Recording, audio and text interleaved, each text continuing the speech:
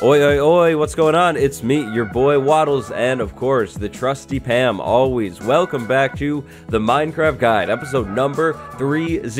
You know what that means? Well, uh, that means we got a lot of episodes now. So, today, this build looks a little bit different than, I guess, at least the last time you guys saw it in an episode. The automatic wool sorting storage area. This got some work in the last stream that happened. Now, the stream actually happened on Thursday on my Twitch at 3 p.m. Eastern, as always. And in the stream, we did this and kind of just talked about random things and then actually did some exploring to lead into today's big project and actually a major, major development in the world of, well, in this Minecraft world. Now, by the way, I wanted to mention this boss sheep over here. The boss sheep doesn't have a name, but the boss sheep's actual name or eventual name will be Jeb. I've seen a lot of people call it. Jeb is going to be this guy's name. We're going to do a rainbow sheep in the middle of this market, but uh, I got to get a name tag first. I might have like one or two, but I'm kind of thinking about building an AFK fish farm soon for basically infinite name tags, so that's the plan with that. I wanted to mention that, and I've seen all of your guys' ideas with a centerpiece as well. I like a lot of them. I saw a lot of fountain ideas, and I'm kind of really in love with that idea, so maybe we'll come back soon and do that, but Today is is a big day. We are going to kind of indirectly be breaking ground on the next major development in this world. So we have a pretty nice base getting set up here. Like, I don't know, it's pretty nice. I'm really happy with it if I'm being honest. But I think we're going to actually switch gears and build a completely different town. Uh, yes, you heard me right. We will be breaking ground very soon on a brand new town. Uh, not, not just a building, a whole town in this world. This so-called town is going to be unlike anything I've ever done before. It's going to be really, really cool. But this town won't only be cool, it will also be insanely useful, but also really cool. So, the project, the town, what is it all for? Well, I kind of need more iron, right? Like, uh, we have this much left, and don't get me wrong, that's a lot of iron, but it will run out. I haven't been caving lately because, I mean, I just haven't been, and this is going to keep going down. That's kind of a problem. Now, to fix that, we could build an iron farm. But uh, to build an iron farm, we need villagers. We need at least four villagers, actually. So yeah, that's kind of a problem. I don't really have any villagers over here other than Sandy in the Mending Tower, but Sandy cannot be moved. Sandy needs to stay there because Sandy is really, really valuable to us. So, basically, that means we have zero villagers. That's kind of a problem. This town will be for villagers. We're going to actually create, I think, a custom villager village that will be sort of part of our base somewhere in this world. And today, that dream, that project, that plan will get its beginnings. So this is something that we'll be going over a lot more as we do it, but in the last stream, we explored. We went onto this map right here, the one that we're taking with us, and found a village. That village is marked on this map with a banner. We need to start things off by getting a nether portal all the way over to that village. Now, the village is in a tundra biome. We found the village on stream. It was really, really good. Now, the village's coordinates are 2,586, 70, 1,782. That is pretty far away. I definitely don't want to run all the way back over there because uh, it'll take a long time. So, we're going to go ahead and go actually into the nether and talk all about nether ice roads today because we need to go to that village and actually bring a villager back home with us. That's kind of a big task, and when the villager is so far away, I mean, in relation to us, that, that task gets even bigger. So it's about time for some nether ice roads. So, today's project begins in our fancy, brand new nether hub that we built in the last episode. Our overworld coordinates are very far, as we just talked about. The nether coordinates are nowhere near as far, but they're still pretty far. In the nether, we need to go to 323, 70, 222, and build a nether portal. That portal should take us right to the center of that tundra village if my coordinates are spot on, which I think they are. So we're going to be smart about this and not forget to grab a flint and steel. Thank you very much. Now, uh, 323 is the first one that we need, so that would be this way. Then 222 is actually this way. So we have two options here. We could either branch off of this tunnel, or we could make a brand new tunnel down here in the green section. Um, well, I mean, this tunnel does go all the way over to... I think it goes to 246, actually. Uh, or so. So I think what we're going to do is we're going to branch off of this mesa tunnel and go over to the ice biome. Exactly what I thought. Here we are at 222. Now it's time to dig down this way, all the way to 323. Oh, hey! Nether Fortress, would you take a look at that? That's amazing. That's really, really cool. I'll be able to remember that, but uh, that's not the plan today. Uh, but that is really cool. The first bridge, that's really easy to remember. But I've got a lot of tunneling to do. I have to get all the way over to 323, I think it is. Yeah, 323 in this direction. I have 323 blocks more to go from right here. Zero. Uh, huh. That's a project. Uh, so, I'll be back soon. Oh boy, it just clicked. I have a really, really good idea for our nether tunnel themes, or at least the main tunnel themes, but we are here, 323. That took like no time at all, actually, and interestingly, right as I hit 323, I found my first bit of quartz. Kind of weird, definitely doesn't mean anything, but kind of interesting. Now, I am all over the place today. Your guy uh, seems to have forgotten wood as well, so I'm sorry, Nether Quartz, but I really just can't afford to have you on me, so we're gonna go ahead and drop all of this on the ground right there, and go ahead and make our Nether portal right in here. Now, uh, you did not see me skip the corners. Absolutely, your guy would never skip the corners of a Nether portal, so just, yep, yeah, you're seeing an illusion right now, just to be clear. Now, uh, we light this, and fingers crossed, but should work. It, it should should be good. We should be on this map right by the banner. Let's see.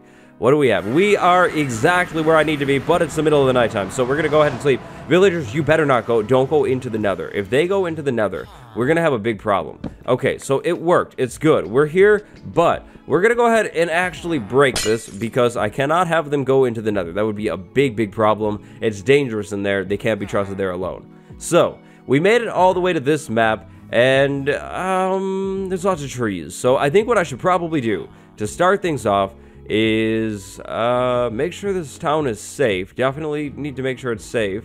There's a cat, that's cool. Um, it looks safe. I don't see any zombies nearby over here, so we should be good.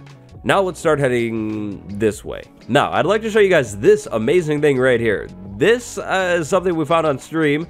Uh, it's a mini ice spikes biome, which is really, really cool. These biomes are super rare, but it is tiny. Like, it's really, really small, but it's still definitely very cool. Now, we're going to go ahead and take a few trees down here so we can get some wood. Then, we're going to go exploring. Before we can even think about making some sort of nether ice road, we need to find a frozen ocean. Now, if you were at the stream, uh, you know that that was uh, one of the big things that we were trying to find, and unfortunately, I couldn't find one on stream, so we need to find one here before we can even start the project today. Now, I don't really have any good lead on a frozen ocean other than, well, an ocean. Uh, frozen ocean is definitely going to be located inside of an ocean, so I figured that what we would do is we'd start at this frozen area because maybe the cold ocean will be next to the tundra. I mean, I know it's Minecraft and it doesn't always work like that, but maybe. maybe we'll get lucky and that'll be the case, and I, I hope that's the case. now, since we're already off of this map over here, we're going to go ahead and make a new map, but there's a condition. This is the only new map that we will be making today. We're going to try our best to explore, but if it doesn't work out, we'll, we'll do something else for the ice inside of the nether, and it won't be a big deal. So, we have basically until, what, I think like 2,000 more in, in this direction to hopefully find something. Um, hopefully. I hope this works out. So here's the official plan. We go over to the ocean, we drop a boat, we get in the boat, and then we are going to sail down the coastline until hopefully we hit something interesting, and we'll keep our eyes out in the ocean over that way for things like ocean monuments that we're definitely not going anywhere near, and frozen oceans. Most importantly, frozen oceans. Now, we're looking for a frozen ocean for packed ice. Packed ice is something that we don't really have a good source of quite yet. Now sure, we could tear it down that mini ice spikes biome, but I think the biome is cool looking, so I'd rather leave it alone. Plus, there's not that much packed ice there in the first place, so it wouldn't really be worth it in my opinion. Instead, uh, we're trying to find... Oh, look, uh, I think I see another village over there. Um, I think? Over there? I think so, that's cool. Anyways, we need a big long-term source of packed ice in this world for future projects. A big long-term source is, of course, a frozen ocean because icebergs are crazy full of packed ice. I mean, they're literally made of this stuff. So a frozen ocean is definitely going to be your best bet when it comes to getting your hands on lots of packed ice fast. Hey, an igloo, that's really, really cool. Let's go ahead and check that out really quick. These structures are so, so cool. Sometimes in the basement, if there is a basement in this one. Uh, do we have a basement in here? Is it hidden or... No, no, there's no basement in this one. Oh, yeah, okay. Well, I will put this all back. But sometimes it, eh, there's a basement and you can pretty much cure a zombie in the basement, like a zombie villager, which is really cool. But this is just a random igloo. That, that's really cool. Now, let me be clear. This is in no way the best way or the only way to find a frozen ocean. I mean, realistically, a frozen ocean could literally be anywhere. We happen to live by a lot of oceans, and unfortunately, I haven't found one quite yet. But this is kind of the best thing that I was... Oh, is that actually? no way. No way. I think that's a... Oh, wow. Okay, this worked out. I was just about to say that a frozen ocean could be anywhere. Like, in the last world, we had it right next to a desert, but wow.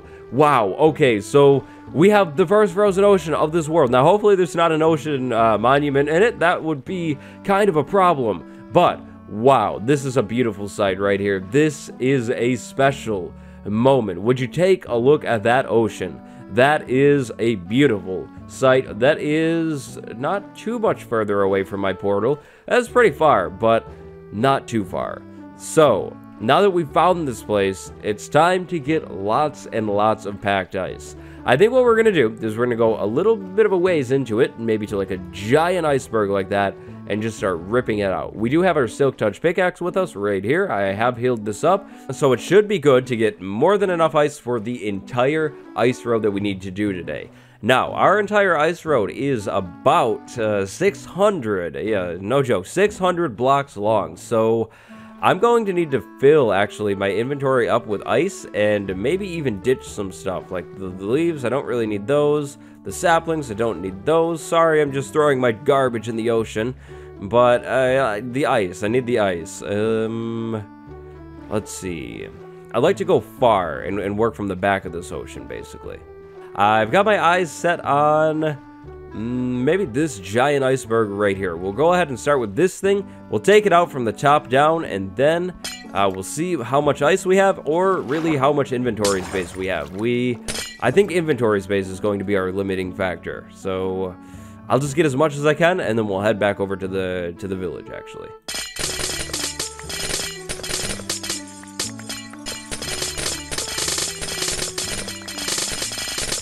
So here we are back over in the town. I have a lot of ice. My inventory is full, all the way full. Now we're going to go ahead and make this nether portal a lot safer because I really, really can't have villagers wandering into the nether before I have it all ready to go. So if we put the blocks around it, that will keep things, uh, meaning the villagers, away. Now, we're not going to come actually back over into the overworld until this project is done, or until we need more ice, uh, if we run out of ice. But I don't think we will, because I have I, I think I counted. This might be like 11 stacks of ice. It a lot of ice. So nether ice roads, ice tunnels, nether highways, what are they? All of those terms mean pretty much the same exact thing. When somebody says one of those words, they're probably talking about some sort of ice hallway or ice road inside of the nether. This ice road usually links between two portals.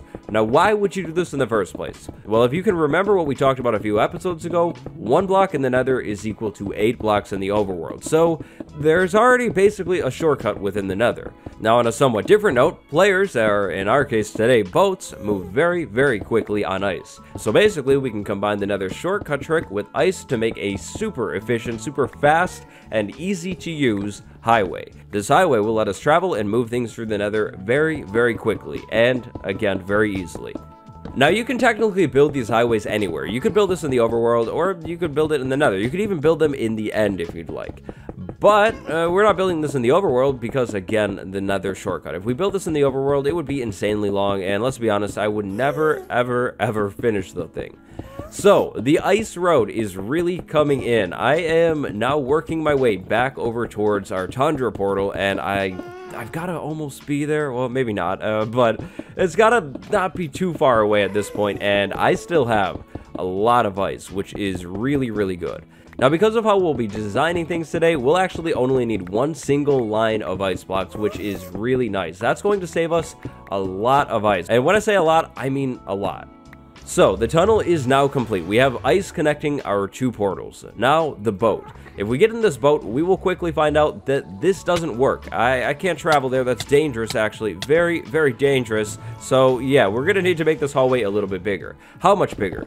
Well, technically, I think you could get away with a 2 by 2 hallway, but I don't really like that. It won't look as good. So, we're going to go ahead and do a 3 by 3 hallway. So, now we have a hallway that is 3 by 3 the boat will definitely fit down this hallway. But uh, with how things are kind of set up right now, we don't move very quickly, as you can see. We could move a whole lot faster. We will move even faster if we remove these side blocks right here. If the boat touches no other blocks, it will move quickly. I mean, watch this right here.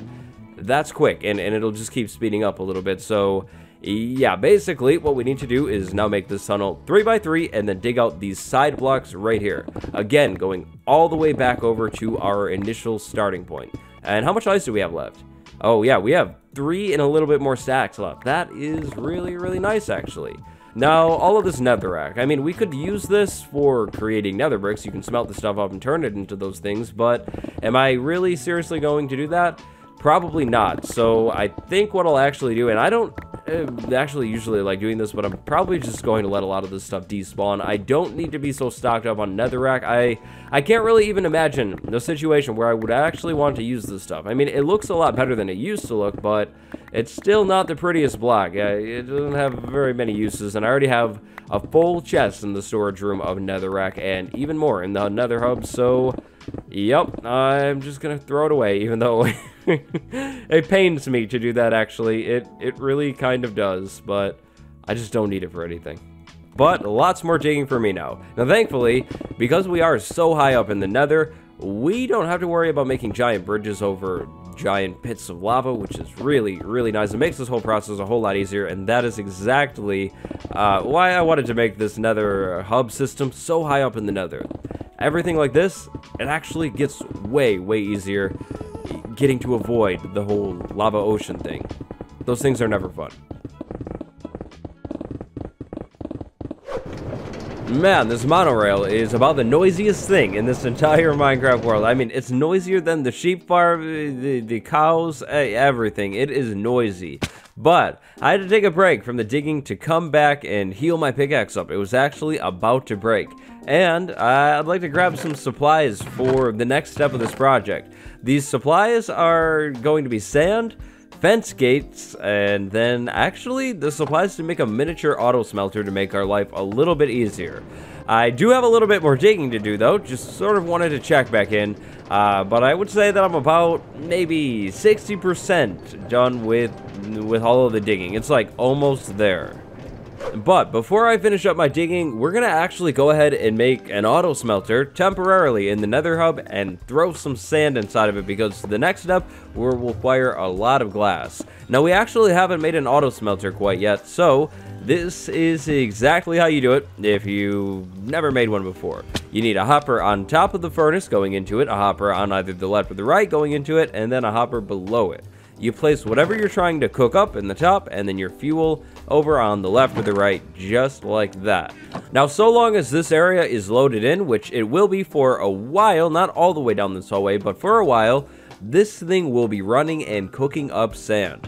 Now, like I said, the next step is going to require a lot of glass. So this, this is how we're going to go ahead and get all of the glass. As you guys saw, I have a lot of sand waiting for me over in the desert by our mob farm still, so if I need more glass, not a problem at all. Not a big deal, but back to digging now.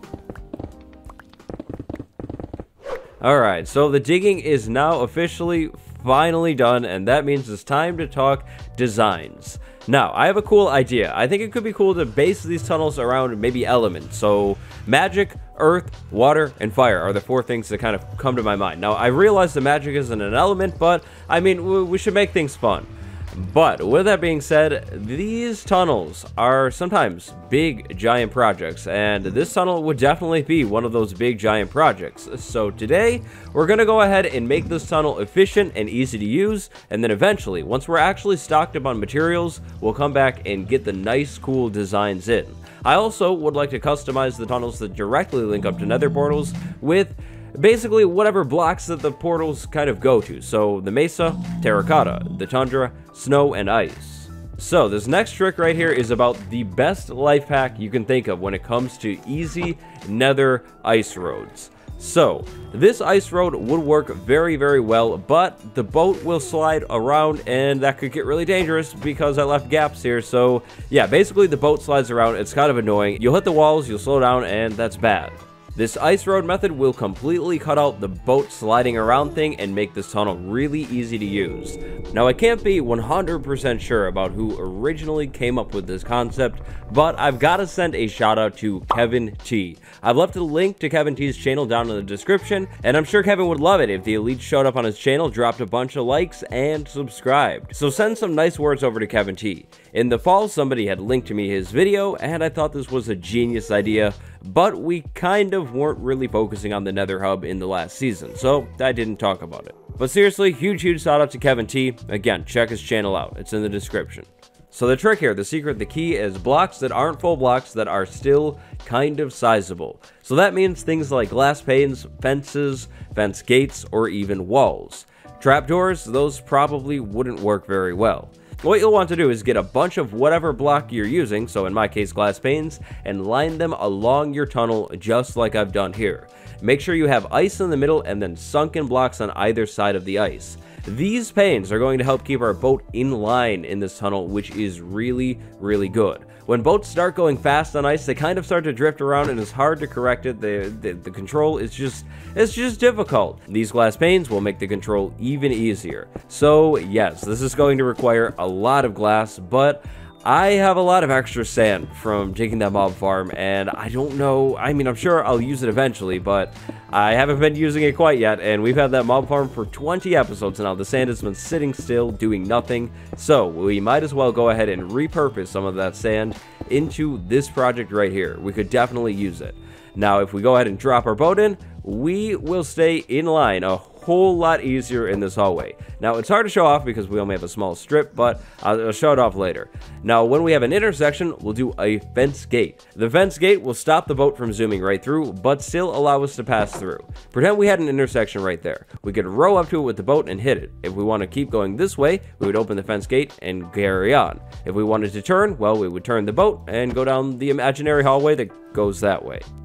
I'll demo that one a little more once we reach our intersection all the way over there, but the fence gate starts right there. That is where our first fence gate will go. We can actually skip these blocks right here, but not that it matters. We'll still need a lot of glass panes, but if we can save two, that's great. Now, the ice in here, you can actually cut down on the ice if you wanted to. You can chop out every other ice block and things will work fine. The boat will slide right over the gap and it's cool. But I think things look a little bit better with a solid ice road here, so we're going to go ahead and do that. We are leaving all of the netherrack in, so if we can make things look better in any way, then we're absolutely going to take it. Now this area, this is where the old hallway was. I'm thinking I might just leave it alone for now, but I also might come back in and just fill it in. I'm not too sure. It, it, makes the hallway look really unbalanced and uneven, but at the same time, it doesn't really matter. Now, eventually, we will be coming back into this hallway and redoing things. The glass panes will honestly probably end up staying, but the walls themselves will be changed into, at least right now, I'm thinking the different elements. So for water, we'll probably end up doing a bunch of prismarine. For fire, nethery things. For earth, things like, uh, like wood and forests and stuff. And then magic, maybe end stuff or just purples and cool colors and things like that. But that's kind of what I'm thinking for our main nether hub nether tunnels. But I have to continue to make a lot of glass panes. Now, this is going to be the most glass panes I have ever made in a world for any project. The plan is to get these glass panes all the way in, all the way over to the tundra, so then we can bring a villager back, or maybe two, really, really easily. Now, speaking of the villagers, why are we doing this? Uh, well, um, you guys are gonna laugh about this, but I like the outfits of the Tundra villagers, so I am going to import them for our village project. That's what we're doing. We could absolutely use desert villagers, but I mean, the Tundra outfits, they're so clean, so kind of need those. no joke, it's it's not a joke. I, I like their outfits uh, like a lot, so yep, that's what all this is for. Thankfully, I can actually use this as I fill it in. I can just jump in a boat and zoom all the way back to the start and then back to where I'm working, which is really, really nice. By the way, also, if you use a fence gate as your end and start point, when you jump out, you should jump right through the fence gate, but the boat can kind of actually be crammed into it, so just be careful about that. Now, the only other problem that we could have with this transport system is spawns. Zombie pigmen can spawn in lighted up areas and they can spawn on ice as well. Now we could come in here and put a bunch of buttons on this ice to prevent the spawns, but I'm betting that the spawns won't be that big of a problem, and we're going for a, bit of a low-tech ice road system after all right now, so I'm not too worried about it currently. But if you were worried about spawns, you could put a bunch of buttons on the ice blocks, the buttons won't slow you down, and they'll stop the spawns. If you have other blocks like this over here, you'd either want to fill these in, put more buttons, or put things like slabs. Now, we've actually reached an intersection, so let's talk about the gate thing. So, the glass panes continue all the way over to the intersection, and then they will continue around this bend all the way down. So, we'll basically have something that sort of looks like this in here, a T intersection with lots of glass panes. The fence gate should be placed right after the intersection. So, right here goes the fence gate. Now using this thing is really, really simple. If we wanted to go over to the Tundra, we'd hit the gate and then we'd just turn. If we wanted to go to the Mesa, well, we'd hit the gate, then open the gate and continue onwards. We will have to remember that the gate is open though, so next time we use this, we'll have to come back and close it, or after moving through the gate, we'd slow our boat down, turn around, and close the gate really quick, and then continue on our path. Using fence gates is about the easiest way to handle intersections on a high-speed ice boat highway. Of course, you could come up with some sort of piston contraption to, to handle the intersections as well, but piston contraptions, uh, not exactly low-tech. so now that everything's all laid out, I think it's time for me to go ahead and finish this hallway. Now to make things easier in the future, I'm placing a torch every 5 blocks. I'm not exactly sure how we'll do our hallway designs in the future, but having a torch every 5 blocks will definitely help section things out. Well, well, well, things have gone amazingly well. Welcome back, everybody, and take a look at the fully finished, super simple, low-tech Nether Highway. Now, this Nether Highway goes all the way over to the Mesa, but uh, we're not going to actually go all the way over there, but it does go all the way over that way, and I did the same thing, fence gate, uh, like intersection, and then, uh, whoa. and then it does also go all the way over to the Tundra portal as well. Now, right at the end of the Tundra tunnel here, I actually ran out of netherrack, so there's a few blocks missing from when I dug it initially, but the thing works flawlessly. It is amazing, and this is going to make my life so, so much easier. Now, initially, I was thinking about grabbing the villagers today and just bringing them with me over towards our base and, and, getting ready for the project, but I don't really have anywhere to put them, so I think it's probably best that we just let them live at the Tundra for now, and then we'll grab them as soon as we are kind of in a better position to actually put the villagers somewhere. We're going to go ahead and leave the boat in there too, so that's always there whenever I need it. But tunnel, uh, or at least basic tunnel, check. Now, while I was working on this project, I did kind of realize that there won't really be a need for a tunnel in each and every direction. We have one tunnel going this way, and then we have tunnels that cut off of it going to the north and south, and then we have, or we'll have another tunnel going this way, and then the same thing, probably cutting off to the north and south. But uh, that means this might be a little bit redundant, and then another tunnel that way, that might be a little bit redundant as well. The tunnels uh, going north and south, or, or whichever, or no, no, no, this is east and west. Green is east, blue is is west. Those tunnels, they'll they'll still be a thing probably, but only for like places that are close. So maybe we have the nether fortress this way, right? Maybe we have a tunnel going right over to the fortress and then just kind of stopping there. We probably won't have giant tunnels going in those directions because we can usually probably just use these ones and branch off of these tunnels. So this one over there, and again, the future one that will be over there. But that is how you build a low-tech, super simple nether highway. Now to recap some things that you could do differently, you could actually alternate between ice blocks and no blocks. Remember, you can skip every other block with the ice and it will still work. But I think this way looks just a little bit better, so I didn't do it. You could also add buttons to the ice in this road and then block out spawning areas on the left and the right of this path to prevent any spawns from happening inside of the road. Now, that was kind of mean, and uh, a pigman spawned, or two actually, in the road, and this is the remains of the pigman. You can figure out what happened. uh, but yeah, they kind of uh, were in the way, basically, and uh, yeah, now, it's really usually dangerous to get rid of the pigman, yourself at least, but when you're in a tunnel and you're closed in above the nether and there's no other way in, it's pretty safe. So anyways, you can use buttons and slabs to block spawns. Then the glass panes. These glass panes will help keep your boat on your road. Now instead of glass panes, you could use walls, fences, fence gates, or even actually iron bars, or any other block that is big but doesn't take up a whole block. And again, Kevin T's channel is linked down in the description make sure you go over there and tell him something elite for me. Please and thank you. Thank you all so much for watching today's episode. Hope you enjoyed it. Hope you're excited for the Villager project. Definitely share your thoughts down below in the comments. And as always, uh, check out the merch. The merch is right down below the video. All of my links, they're down in the description, like my Twitch, my Twitter, Instagram, everything like that. And today, I'd like to send a big special thank you to my patron, Ground Crazy May. Thank you very, very much for the support, and I'll see you all in the next one. Until next time, stay cool, elites. Adios. I need that back. Thank you.